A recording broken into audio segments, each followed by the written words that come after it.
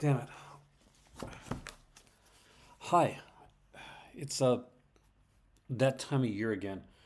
Uh, especially if you're getting rid ready for this type of stuff. It's uh, it's September, which uh, means we're almost on uh, October, and um, this kind of means you know well, it's uh, for for uh, horror watchers and YouTubers. It's uh, this time of year again. It's uh, it becomes Halloween, the uh, 31 days of horror. I'm not gonna do Halloween this year. I mean, everybody does that, and it's been done ad nauseum. I, I did want to put a couple franchises in this year, and I uh,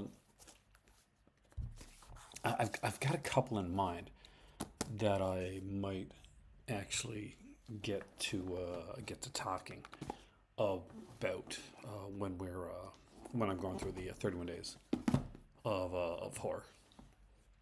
I love that time. I mean, there there's so much cool stuff that you come across, and there's things that you watch or you just want to rewatch that you haven't seen in a while. Things maybe sometimes it'll be something that kind of make, makes you cringe a little bit, uh, and, and you got to look away from, or maybe there's just like some fun films that you haven't seen in a while, and you thought it'd be kind of really neat to uh, actually check them out for uh, for the month of uh, for the month of ha- Halloween. Everybody has their own list. Uh, my uh, oldest daughter, she does up her list like months in advance. She actually works really, really hard on. It. I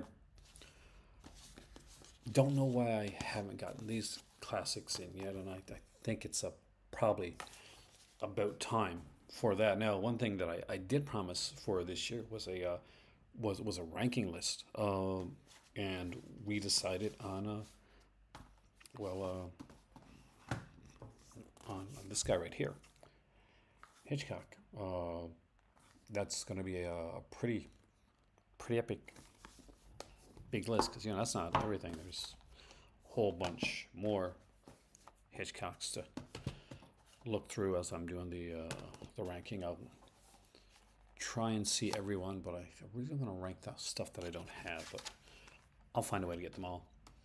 I do love this little set here. I bought this at a Best Buy uh, back in the day. It was like really really cheap too. Like Notorious, Rebecca, and Spellbound. Uh, underrated Hitchcock uh, for sure. Anyway, I have a lot of work to do. This uh, this month is uh, going to be uh, a little bit insane, and uh, maybe it's gonna drive me a bit mad doing all this. But uh, what's it they say again?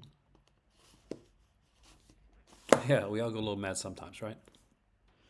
Anyway, I hope that you will join me in the month of October every day to look at different horror films, genres, directors, and a whole bunch more. I'm uh, very much looking forward to it. Uh, a lot more than I'd be looking forward to uh, to this. This is this is definitely gonna freak me out. So I guess we'll see you here for the month of October. Should be fun.